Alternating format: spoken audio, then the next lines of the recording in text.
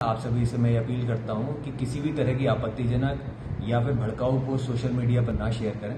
Ratlam police के द्वारा सभी सोशल मीडिया प्लेटफॉर्म्स पर कड़ी निगाह रखी जा रही है।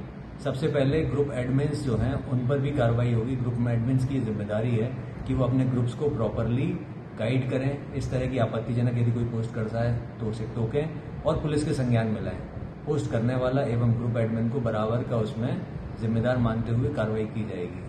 इसमें ऐसे मौकों पर यह भी उचित पाते हैं कि कभी ऐसा माहौल हो तो ग्रुप एडमिन अपने ग्रुप की सेटिंग चेंज करके उसको एडमिन ही सिर्फ़ मैसेज शेयर कर सकें इसमें इस तरह की सेटिंग भी कर सकते हैं।